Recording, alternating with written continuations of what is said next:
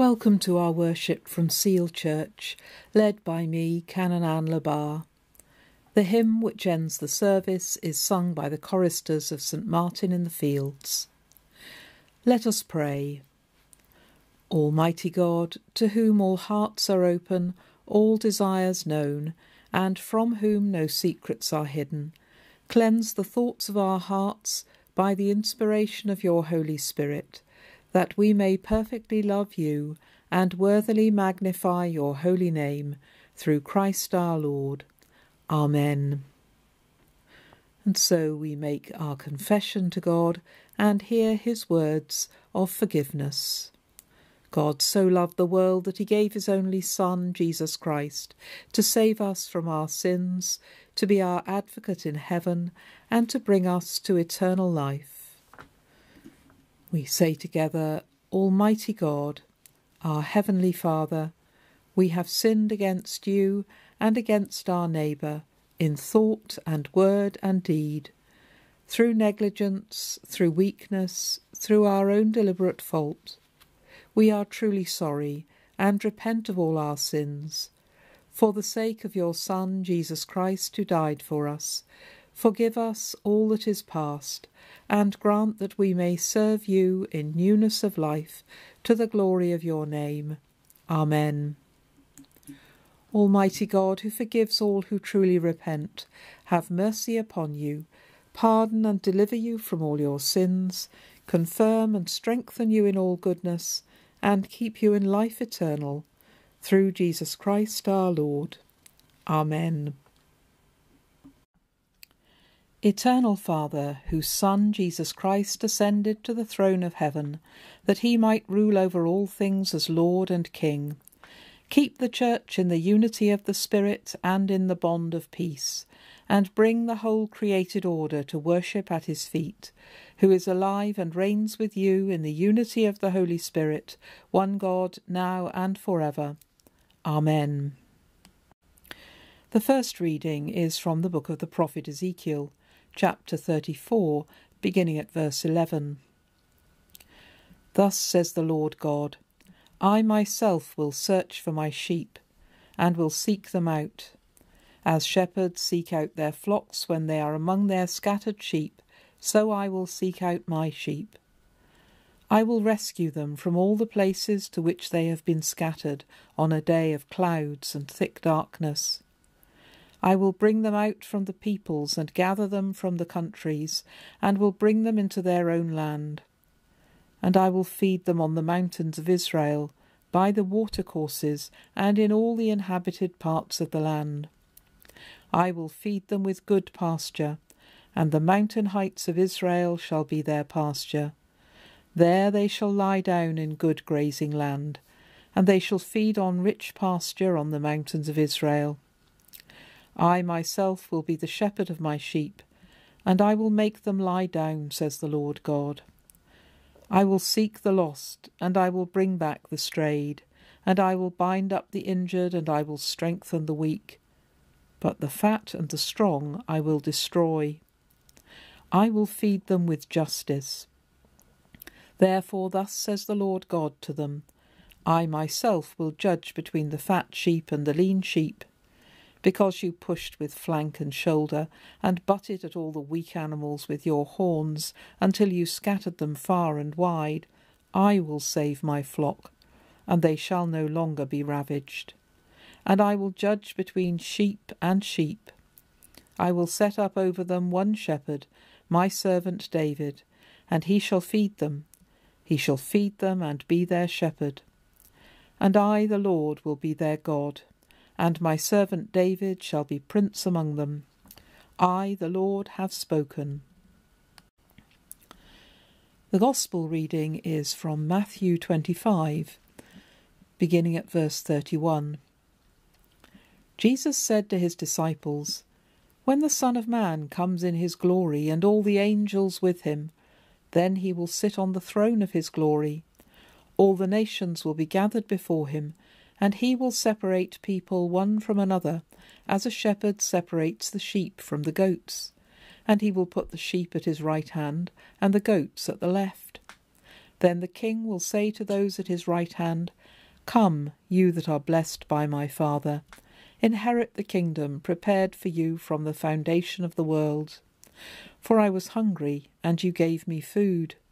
I was thirsty, and you gave me something to drink. I was a stranger, and you welcomed me. I was naked, and you gave me clothing. I was sick, and you took care of me. I was in prison, and you visited me. Then the righteous will answer him, Lord, when was it that we saw you hungry and gave you food, or thirsty and gave you something to drink? And when was it that we saw you a stranger and welcomed you, or naked and gave you clothing? And when was it that we saw you sick or in prison and visited you? And the king will answer them, Truly I tell you, just as you did it to one of the least of these who are members of my family, you did it to me. Then he will say to those at his left hand, You that are accursed, depart from me into the eternal fire prepared for the devil and his angels. For I was hungry, and you gave me no food. I was thirsty, and you gave me nothing to drink. I was a stranger, and you did not welcome me, naked, and you did not give me clothing, sick, and in prison, and you did not visit me. Then they also will answer, Lord, when was it that we saw you hungry or thirsty, or a stranger, or naked, or sick, and in prison, and did not take care of you? Then he will answer them, Truly I tell you, just as you did not do it to one of the least of these, you did not do it to me. And these will go away into eternal punishment, but the righteous into eternal life. The part of Matthew's Gospel which includes today's reading also has messages about what happens when we fail to prepare, contrasted with those who are ready when the time comes. There are the foolish bridesmaids who had no oil for their lamps, which they carried to meet the bridegroom, and missed out on their opportunity, unlike those who carried flasks of oil with them. Then last week there were the slaves given talents by their master. One of the three failed to put his to work and was cast out as a result. And there's some relevance when you think about the talent, the money, to today's reading as well. How can we ever help others if we take what we're given, yet leave it buried to the extent that it remains dormant? Helping others sometimes involves taking risks and being ready for uncertain outcomes. Today we hear of sheep and goats, and it's about being prepared to use our understanding of who God is to his glory. Jesus' words could be taken as a provocation to take economics and politics seriously, because when their power is in the wrong hands, the effects on millions of people can be devastating. There's a message that it's simply not acceptable to ignore those in need, poverty, oppression, or sickness. To make to do so makes us unrecognizable as Christians. The way we organize society is at the heart of Jesus' message, and nothing could be further from God's kingdom than disregard for our most vulnerable members of society. You won't need me to give specific references about places where war rages and environmental disasters cause terrible suffering. But the depressing thing is that they have one thing in common, and that is that the old, the sick, the children, the poorest, it's them who are disproportionately effective, affected by a massive margin. Anyone who's ever been hiking on the Brecon Beacons can relate to the reading from Ezekiel of the clouds and the thick darkness where scattered sheep are wandering, even though it's actually the mountains of Israel to which he refers. Ezekiel tells us that the God we worship is one who longs to rescue lost sheep and bring them to safety and peace. But it also tells of his displeasure with the strong who deliberately deprive those in need, who keep taking more than they need, even though they can see the cost to others around them.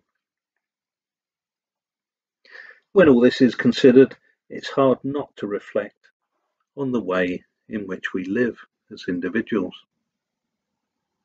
We hear from the prophet that God is on the side of the sheep who are pushed away from their share by the fat and the strong, that he seeks to bring healing to the victims, the oppressed who have suffered due to the greed of others, restoring body, mind, and spirit. How we can help those in need can be both easy but also at times quite complex. On one level, we can respond to many good charities giving our time and or money. We truly would have to walk around with our eyes closed to be unaware that there are many in need of help. Perhaps we are the generation least able to say, Lord, when was it that we saw you hungry or thirsty or in need?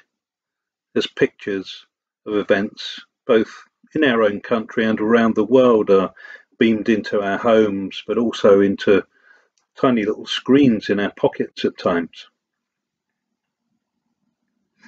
It's a hard hitting message that we heard in today's gospel that doing nothing is not an option for a Christian. And it must be a common occurrence for many of us to feel that our little bit of help won't actually change much.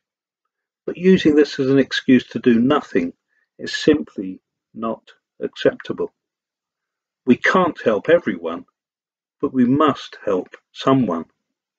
It's not salvation by works, but an overcoming of barriers which obstruct our recognition of Christ in each other.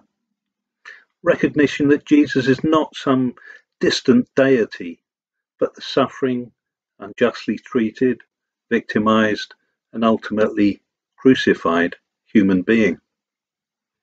God has chosen a human whose life begins as a refugee and ends as a convicted criminal,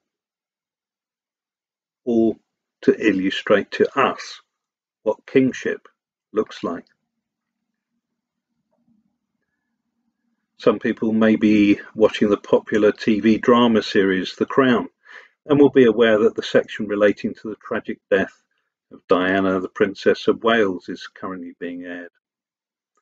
Those who were around at the time will recall how the Queen remained aloof, stiff upper lip and all that, until the pressure for her to show her love and emotion to the people became irresistible the British people were clear that they wanted a monarch who would be alongside them, empathise with them, and share in their sad times as well as the good times.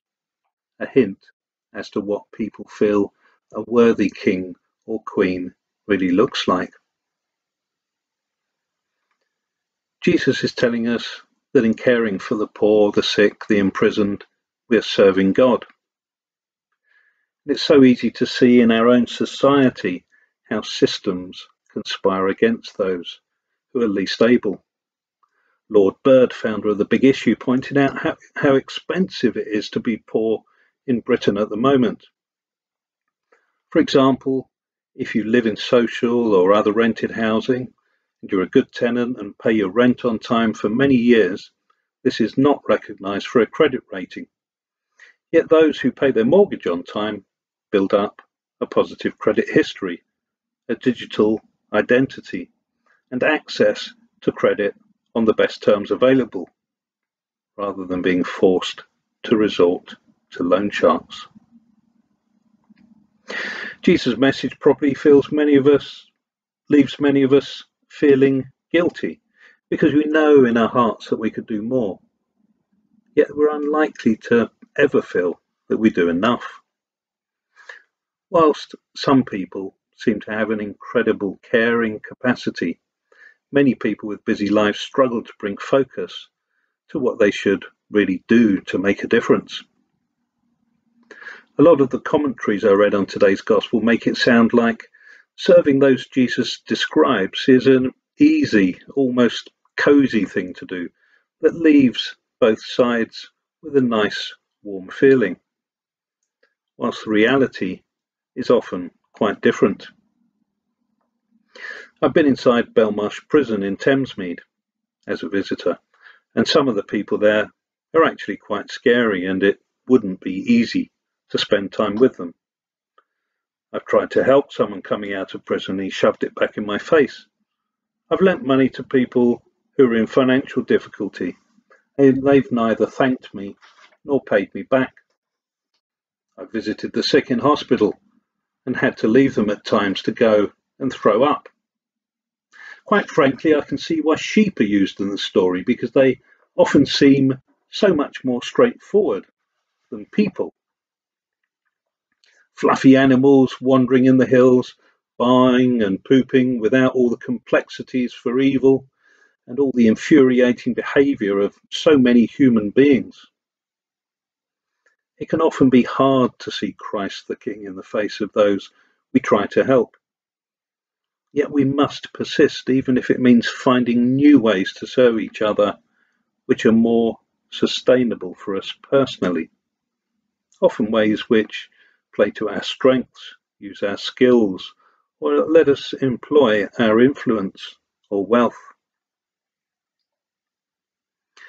Earlier in Matthew's Gospel, Jesus had already warned his disciples about dark days ahead, false prophets, and many losing faith.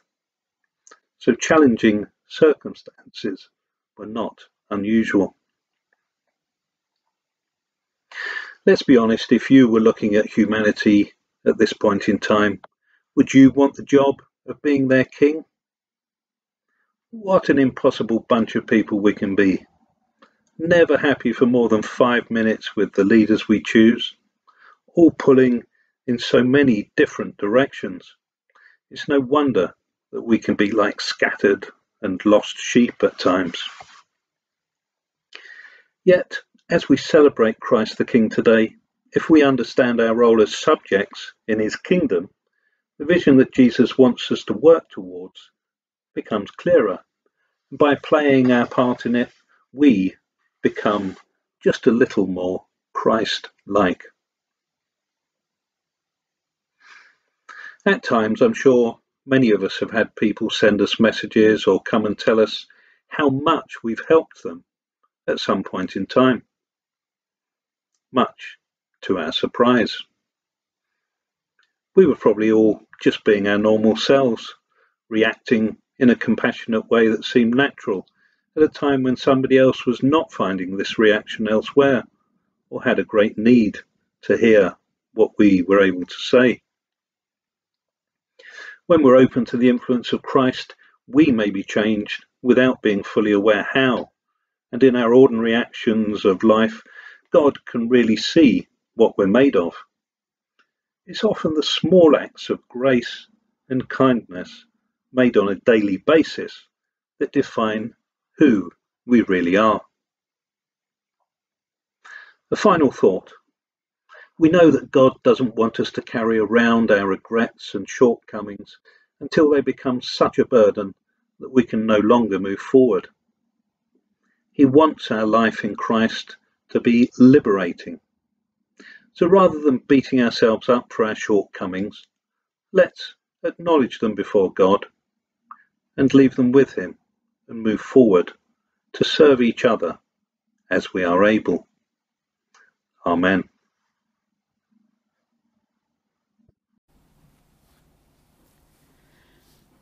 And so, as we bring our prayers to God, we pray. Our Father, who art in heaven, hallowed be thy name. Thy kingdom come, thy will be done, on earth as it is in heaven.